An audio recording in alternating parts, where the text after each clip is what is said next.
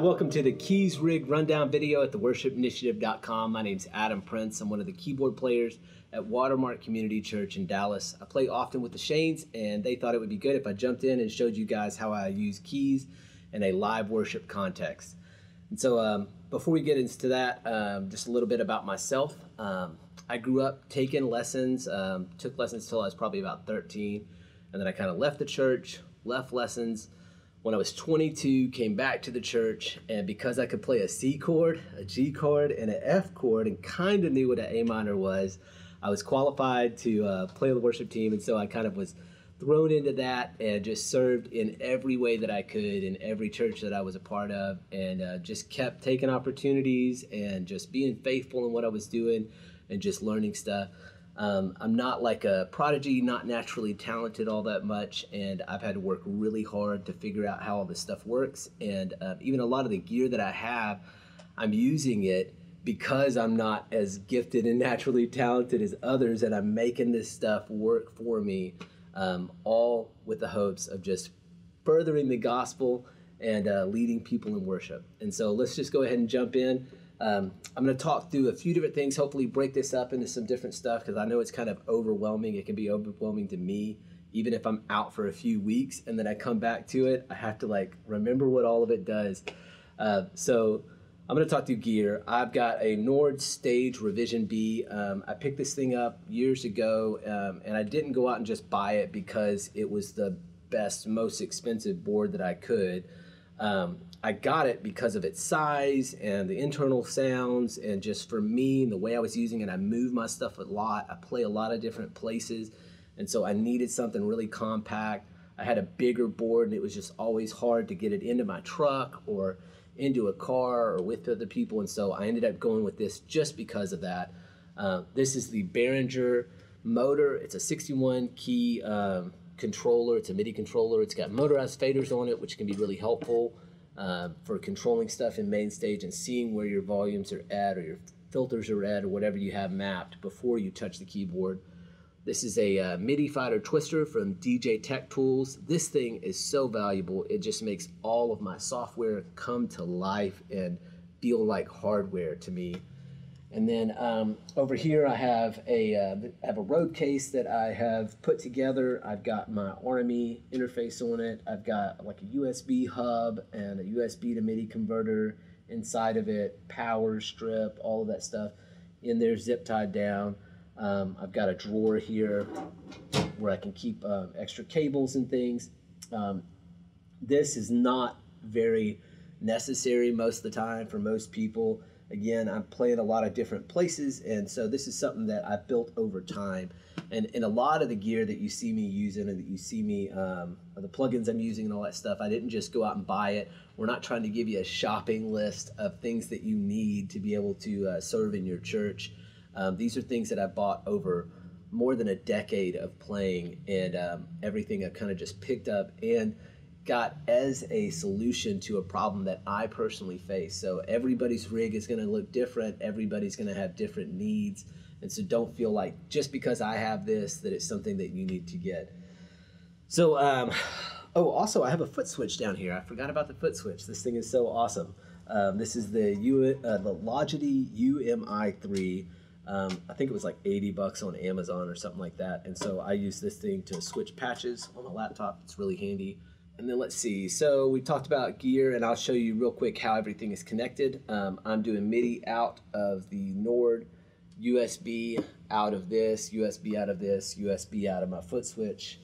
Um, everything's coming in to going through here into a USB hub and then into the computer. The interface is running FireWire. I'm also running audio out of the Nord and running it through my interface. So if I need to, I can switch over to the Nord piano, which is nice in a bailout situation. I have had that happen once. Uh, my laptop had like a factory defect from Apple and it just quit working on stage and nobody even noticed when it happened because I had the audio passing through my interface. So I just shut my laptop down and just kept going with just the internal sounds from the Nord, which is nice to always have something like that. So let me just show you some of my go-to sounds. Um, I I'll start with my pianos. Um, I'd say this Art Vista piano is probably my number one. Um, so here's what it sounds without the shimmer. I have um, on and off button, volume, and then a filter, and then shimmer, and then delay, mapped on every one of my pianos. And that's really helpful because maybe if I'm just playing in a verse of a song, I might want a little more reverb on it. I might want it not as bright so that it's not getting in the way of the vocals. And so, and I probably will layer a pad underneath that too. And so I'll show you about my pads here in a second. But that would be my Art Vista piano.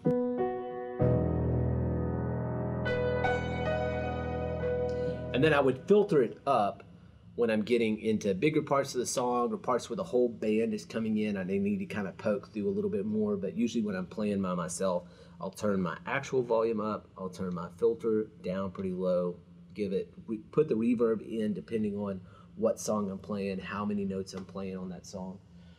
Um, the second piano that I would say would be my go-to is this felt piano. Um, that felt piano, I'm heavily compressing it. I'm filtering out some of the string stuff on it. You see, it's kind of noisy. And so I filter that stuff out and then add the reverb in. But it's nice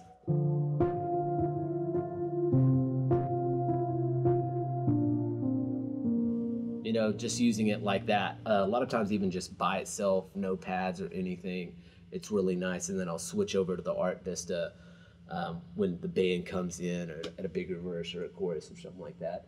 Um, say this would be my Rhodes. And I'm using uh, the Native Instruments Scarbee Rhodes. Um, everything that I have, I'm doing a lot of stuff with effects, which um, look for some more videos on that later um, where I'm diving in further and showing you what all we're doing with effects. But that's what my Rhodes sounds like. Again, using a filter to kind of dial it in just depending on the song. So maybe this would be something I would use with like a song like with So Will I. Um, and then that's it as far as pianos go. I try and keep it a little simple.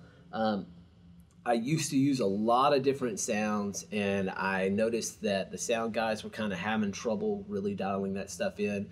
So, you know, using the felt piano, it's so different from the Art Vista that um, it really doesn't mess with the sound guys much for whatever reason. Um, but if I if I have a lot of things that are kind of in the same ballpark, it kind of can mess with their mix sometime.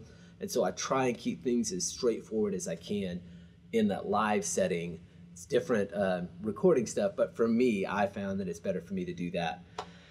Then as far as uh, my primary pads, I'll move on to those. Um, I've got the TAL-U-NO plugin with the Juno 60. I have, again, the volume for it, or the on and off, the volume, and then I've got filter, and then attack and release. And I can show you what that looks like on the mapping here. So you can see on my laptop when I move the attack moves here and when I move this one the release moves there and then when I move this one the filter moves up here. And so this is great. I keep this on a concert level. It's just always there. I can turn it on at any time and just blend it in behind some stuff. And having that filter there is really great too. It just kind of like adds a nice bed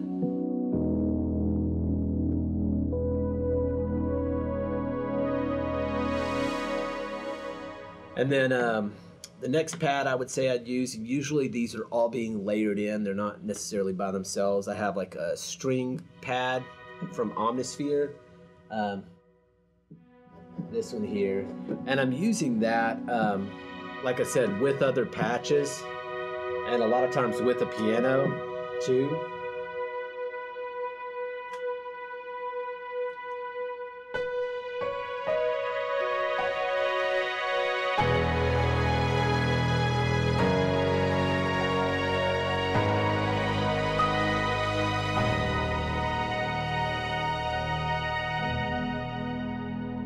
And so I don't use it by itself really. It's kind of like I might use that Juno on the verse and then kind of filter it up a little bit. And then as we get into chorus, I'll layer this one in and I'll get the filter to where it's sitting in with the band really nice.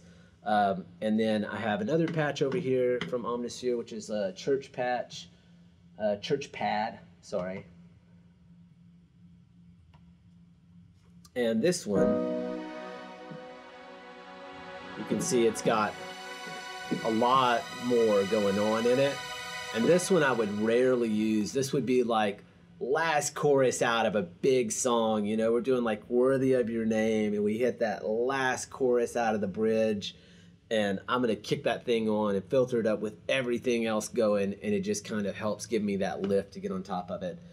And then um, I, I will sometimes have some other patches that I'll use um, like on a per song basis. Um, here's like a patch from Nexus that I'm using that I might use a, on a slightly where I need like a little bit more in a um, verse or something. You can see which patch that is.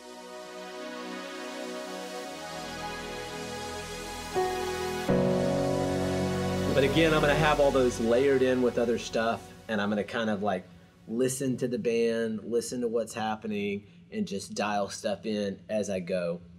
Um, and then I'm using this board up here for textures. I have four different pads that are always there just ready for me to use. And what I like about this is I can be playing under a pastor. He can be talking, maybe doing announcements or the worship leaders doing the transition. And I have these different patches just ready to go.